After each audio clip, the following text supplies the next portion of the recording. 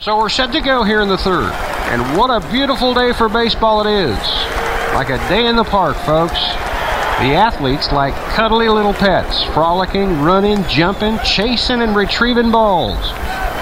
Furry, fuzzy fellas. So here comes Davis now, 0 for 1 today, flying out to right in the first.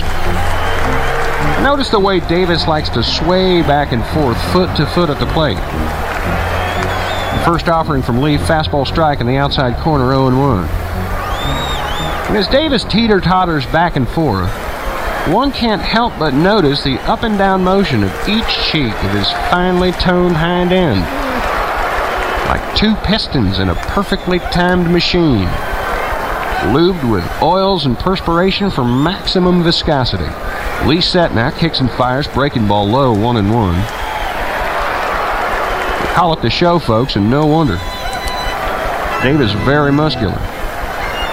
Also, one of the unfortunate individuals involved in the steroid controversy, being questioned by league officials, of course, Davis denies it. The 1 1 pitch, just inside ball two. I don't personally know much about steroids. I know in most cases they're taken via hypodermic needle. And I'm of the opinion, folks, that if a player wants to stick something in his hind end or hmm. have a fellow teammate poke him in the rear, so be it. Who are we to judge?